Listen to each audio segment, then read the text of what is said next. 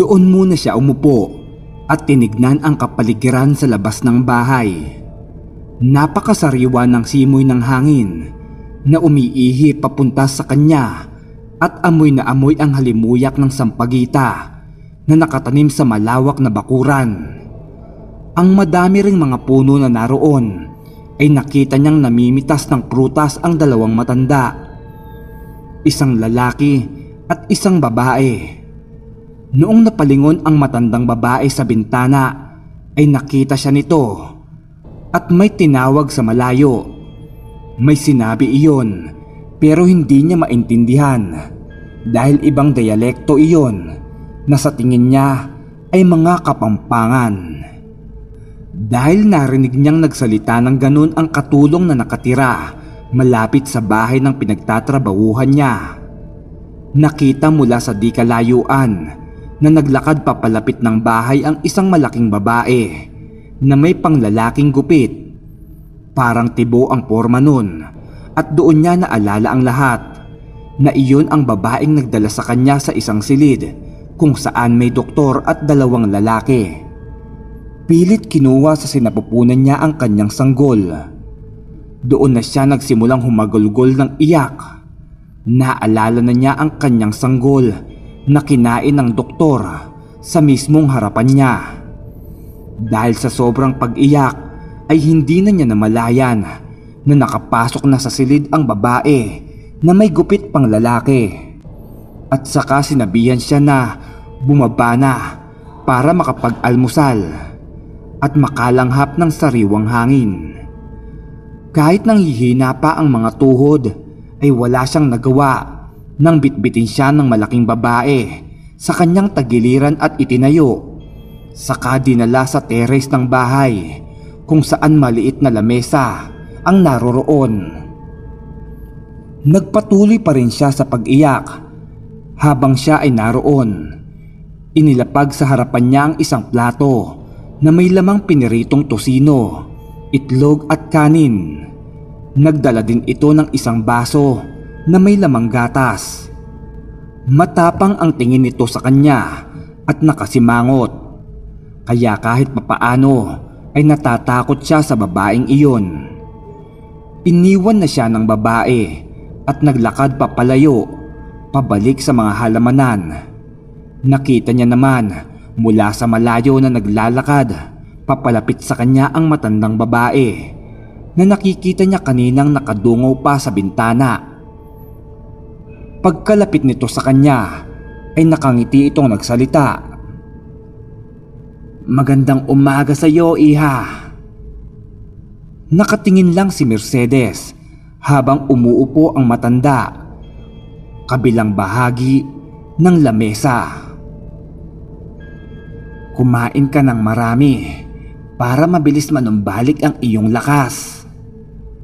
Wika pa ng matanda pero hindi niya sinagot ang mga sinabi nito at nagsimula ng iba to ang mga nag-uumapaw niyang mga katanungan tungkol sa mga nangyayaring hindi niya naiintindihan.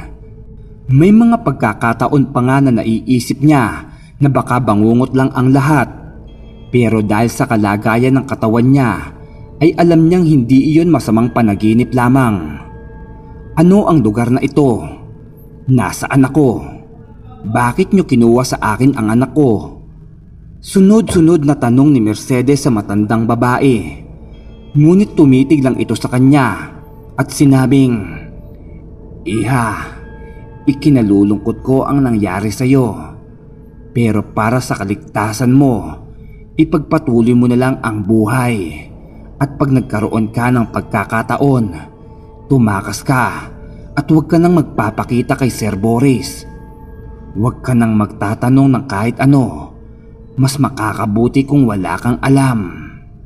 Sige, kumain ka na at maya-maya ay darating na si Sir Boris para sunduin ka. Kahit hindi na kontento sa sagot ng matandang babae, ay sinunod niya na lamang ito at hindi na muli pang nagtanong. Saka inumpisan ng kainin ang pagkain na nasa kanyang harapan.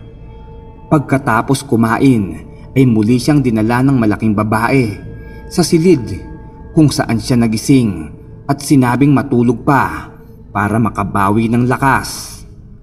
Pagkaupo niya sa higaan ay sinabi niya sa babae na ayaw niyang matulog dahil hindi naman siya inaantok.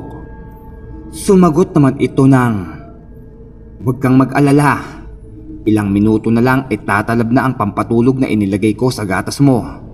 Kaya mahiga ka na.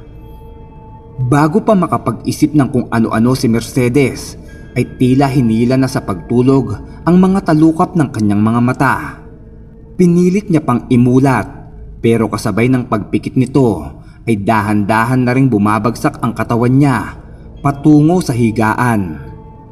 Mabilis naman siyang nilapitan ng malaking babae upang alalayan sa paghiga at nawala na siya ng tuluyan sa kanyang ulirat.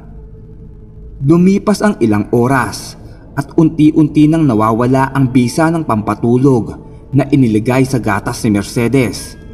Sa mga oras na yon ay bumabalik na ang ulirat niya at nararamdaman na niya ang paligid. Nakapikit pa rin naman siya pero pinapakiramdaman niya na ang mga kaganapan sa paligid. Napansin niyang hindi na siya nakahiga at gumagalaw ang kanyang kinalalagyan. Naririnig niya rin ang mga busina at tunog ng makina ng sasakyan. Dito niya na napagtanto na nasa sasakyan na siya. Medyo pamilyar din sa kanya ang amoy na kanyang naaamoy sa sasakyan. Iyon ang amoy ng pinaghalong pabango ng amo niyang si Ginoong Boris at ang car air freshener. Dahan-dahan niyang iminulat ang kanyang mata. Sa pagkakataong iyon ay nasa stoplight ang sasakyan. Kaya nagawa siyang tignan ng kanyang among lalaki habang nakahinto ang sasakyan. Kasabay din noon ang pagbukas ng kanyang mga mata. Dahil sa nakita na bumukas ang kanyang mga mata, kaya nagsalita na si Ginoong Boris. Hi Mercedes, gising ka na pala. Kamusta ang pakiramdam mo? Sa pagkakataong iyon, ay bumuhos ang luha ni Mercedes at sinabing, Sir, bakit mo ako dinala dun? Sa pilitan nilang kinuha ang baby natin. Sumagot naman ang ginoo. Pasensya ka na. Alam mong may asawa't anak ako. Kaya hindi pwedeng magkaroon ng batang mamamagitan sa ating dalawa. Inihihingi ko ng paumanhin ang mga nangyari. Kalimutan mo na lang ang lahat ng naganap sa bahay na yun at ipagpatuloy mo ang iyong buhay. Tutulungan kitang gawin iyon. Gusto pa sanang magtanong ni Mercedes tungkol sa mga taong nandoon sa bahay na pinagdalhan sa kanya pero hindi na niya itinuloy dahil baka isa din si Ginoong Boris sa mga taong katulad ng doktor. Baka hindi ito makapagtimpi sa kanya at pati siya biktimahin. Ipinagpasalamat niya na lang sa kanyang isipan na buhay pa rin siya at hindi kasamang kinain ng mga taong pinaghihinalaan niyang aswang. Dahil sa naging itsura ng mga iyon noong kinain ang kanyang sanggol. Pagkapasok sa subdivision na tinitirhan ng kanyang amo ay nakita pa ni Mercedes si Amalia na nagdidilig sa labas ng bahay ng amo nito. Nang makita siya ay kumaway pa ito at tila masayang masaya na nakita siya. Ipinagtaka ni Mercedes kung bakit pagkatapat sa sasakyan sa bahay ng kanyang amo ay hindi ito pinapasok ng garahe sa loob. Sinabi nito sa kanya na wag nang bumaba at may kukunin lang siya. Pagkabalik nito mula sa bahay ay may bitbit itong isang traveling bag. Inilapag iyon sa upuan na katabi ng kinauupuan ni Mercedes. Sinabi sa kanya ng kanyang amo na iyon ang mga damit niya. Doon muna daw siya iiwan sa isa pang sikretong bahay nito. Dahil darating sa makalawa ang mag-ina nito. Galing sa abroad at magbabakasyon ng isang buwan. Hindi daw siya pwedeng makita sa ganoong kalagayan. Kinabahan naman si Mercedes nang marinig ang sinabi ng amo dahil baka kung saang probinsya na naman siya dalhin nito. Muling lumabas ng subdivision ang sasakyan at wala na si Amalia sa tapat ng bahay ng amo nang muli silang dumaan doon. Tumagal ng mga isang oras din ang naging biyahe nila. Pero sa tingin niya ay nasa Maynila pa rin naman sila dahil hindi naman iyon dumaan sa expressway gaya ng dinaanan nila. Noong dalhin siya sa bahay na may underground, nakikita niya pa rin naman ang mga naglalakihang mga gusali ng Maynila. Pumasok ang sasakyan sa isang masikip na iskinita at pagkatapat sa isang malaking gate ay bumusina ito.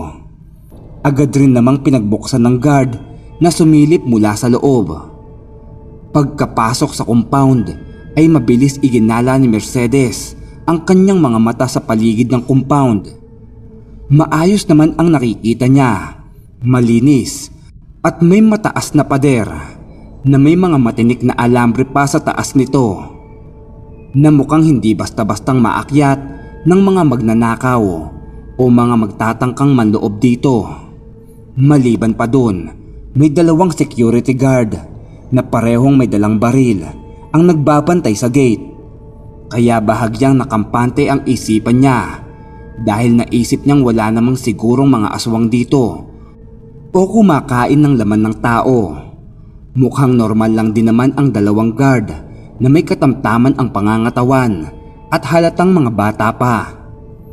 Pagkababa ni Ginoong Boris sa sasakyan ay binuksan nito ang pinto sa gitnang bahagi ng sasakyan kung saan nakaupo si Mercedes.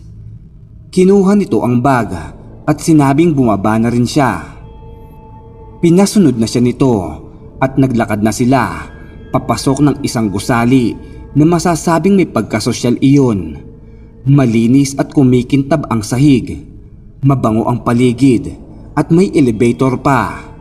Kung hindi siya nagkakamali ay parang kondominium iyon tulad ng naikwento sa kanya ng kaibigang si Amalia. Sumunod siya sa kanyang amo nung pumasok sa elevator. Pinindot nito ang 13. Ibig sabihin, ikalabing tatlong palapag. Tuloy-tuloy naman ang pag-aho ng elevator at walang ibang palapag na hinintuan. Pagkabukas dito, ay bumungad ang isang magarang disenyo na labi. Meron ding babaeng nakauniforme ng pang-opisina na nagbabantay sa may counter nito. Yumuko iyon pagkakita kay Ginoong Boris at sinabing magandang hapon sir. Tumangulang ang lalaki at naglakad na papunta sa isang pasilyo habang nakasunod naman sa kanya si Mercedes sa kanyang hulihan. Nang muli niyang lingunin ang babae sa may counter ay nakita niyang nakahawak ito sa telepono at narinig pa niyang banggitin nito ang katagang nandito na po si sir. At nakita niyang umiti pa ang babae sa kanya bago ibinaba ang hawak na telepono. Muli na siyang tumingin sa direksyon na nilalakaran ng amo. Sa isang mahabang pasilyo ay bumukas ang isang pinto at lumabas ang isang babaeng mga nasa edad mahigit 40 siguro ang palagay niya. Ang kapal ng makeup noon at pulang-pula ang labi. Sumalubong iyon sa kanyang amo at sinabing, Siya na ba yung sinasabi niyo, sir? Sumagot naman si Boris. Bagong raspa lang yan, kaya alagaan niyo munang mabuti. Huwag niyo munang ibibigay sa kahit kaninong kliyente. Napakunot naman ng noo si Mercedes sa narinig. Anong kliyente? At bakit ibibigay? Lumingon si Ginoong Boris sa kanya at nagbitaw ng isang nakakatakot na ngiti. Hindi niya maipaliwanag ang kilabot na kanyang nararamdaman nang makita niya ang ngiting iyon. Hindi niya man lubos na naiintindihan ang lahat pero sigurado siyang hindi maganda ang ibig sabihin nun. Naglakad si Ginoong Boris papalapit sa kanya at bumulong. Magpakabait ka dyan ha. Babalik ako at maglalaro pa tayo. Sabay tumalikod na ito at naglakad na patungo sa direksyon ng elevator. Habang naglalakad ang amo papalayo ay nakatingin lang dito si Mercedes at laking pagkagulat niya nang makarinig ng isang malakas na salitang pabulyaw mula sa babaeng nasa harapan niya at sinabing, Ano pang hinihintay mo dyan? Pagputi ng uwak? Buhatin mo na yung mga gamit mo. Hindi yan aalis mag-isa upang madala sa dapat nakalagyan. Dahil sa pagkagulat ay mabilis niyang naiangat ang malaking bag na may lamang mga damit niya at sumunod sa babaeng naglalakad papunta sa dulo. Pagkapasok sa isang silid ay nagulat siya dahil parang ibang gusali ang kinalalagyan niya. Hindi na nakatiles ang sahig ng malaking silid na iyon. Kung titignan sa labas ay parang nasa isang mamahaling hotel pero pagkapasok sa loob ay tila isang selda ng presinto ng mga pulisya. Nakarehas pa ang pagitan ng mga silid at sa isang silid ay may dalawang double deck na gawa sa bakal na sinasapian lang ng maninipis at lumang foam. Halata iyon dahil sa punit-punit na mga gilid. Pati ang sapin ay nakabalot na may mga mantsa na rin na tila mga natuyong dugo Hinawakan siya ng babae sa buhok at idiniin sa binuksang pinto ng nakarehas. Pagkapasok dun ay tinignan niya ang mga babaeng nasa loob. Merong dalawang dalagitang nakasiksik sa sulok na tila takot na takot na nakatitig sa malaking babae. Pagkakandado ng pinto na bakal ay nagsalita ito. Ayoko nang maingay ha pag may narinig akong ingay sa labas magmula dito. Dalawang araw kayong hindi makakatikim ng pagkain.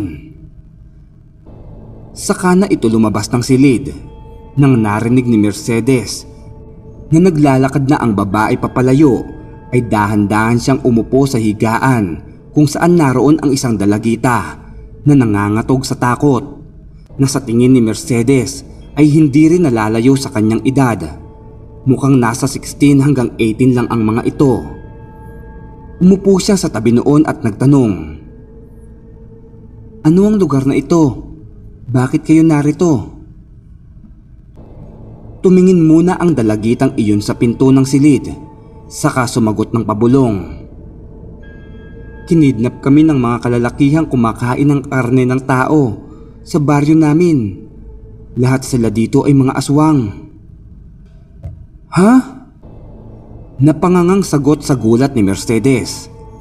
Mabilis namang tinakpan ng dalagita ang bibig niya at sinabing huwag kang maingay. Napakalakas ng pandinig nila. Kahit halos mga bulungan ay naririnig nila kahit lang dun sa may counter. Dahan-dahang inalis ni Mercedes ang kamay ng dalagita sa bibig niya at muling nagtanong. Tapos, anong ginagawa nila sa inyo? Sumagot ang babae. Ipinaggagamit kami sa mga kliyente. Ha? Anong gamit? Maang natanong ni Mercedes. Ipinaggagahasa kami at binababoy. Yung mga pumapalag at tumalaban ay hindi pinapakain ng ilang araw. Tapos muling ipapagamit sa kliyente. Tapos pag lumaban ulit ay dadalhin dito sa silid at pinagtutulungang kainin sa harap namin hanggang sa mawalan ng buhay. Para silang mga asong gutom na gutom kapag ginagawa nila iyon. Nagiging halimaw sila at walang awa. Pagkain lang ang tingin nila sa amin kaya kahit labag man sa kagustuhan namin ang pambababoy sa katawan namin na ginagawa ng mga kliyente ay hindi na lang kami pumapalag para hindi kami maporosahan ng kamatayan sa pinakamasaklap na paraan. Napatingin si Mercedes sa paligid ng silid. Wala itong bintana.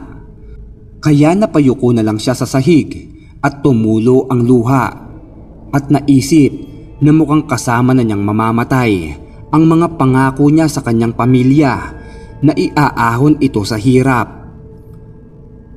Limang araw ang lumipas at hindi pa rin siya binalikan ng amo niyang si Ginoong Boris. Naiisip niya na baka mas maayos ang kahihinatnatan niya kung si Ginoong Boris lang ang mangbababoy sa kanya.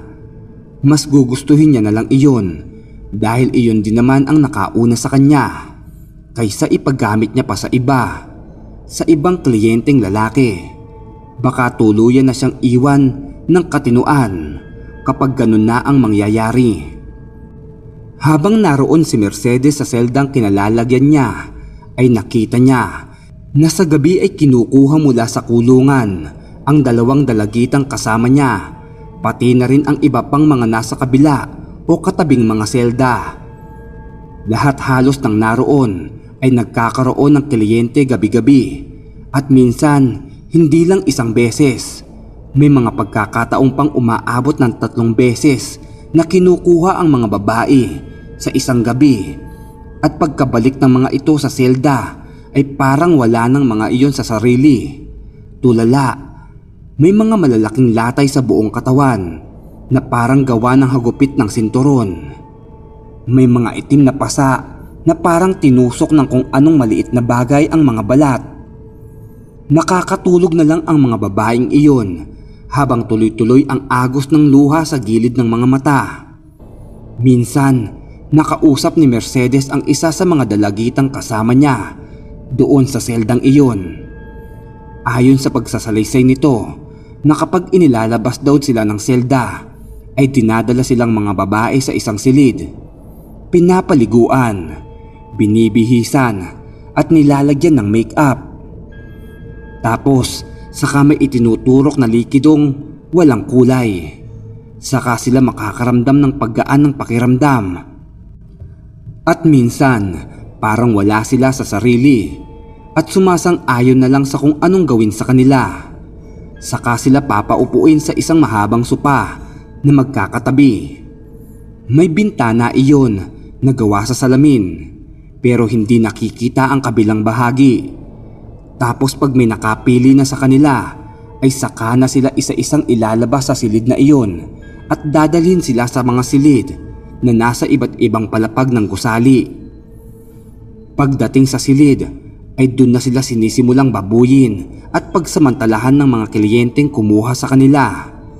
Iba-ibang lahi ang mga nagiging kliyente nila. May mga kano, Chino, Koreano, Hapon, na puro tato at meron ding mga Pilipino. Hindi tao ang turing ng mga lalaking iyon sa kanila.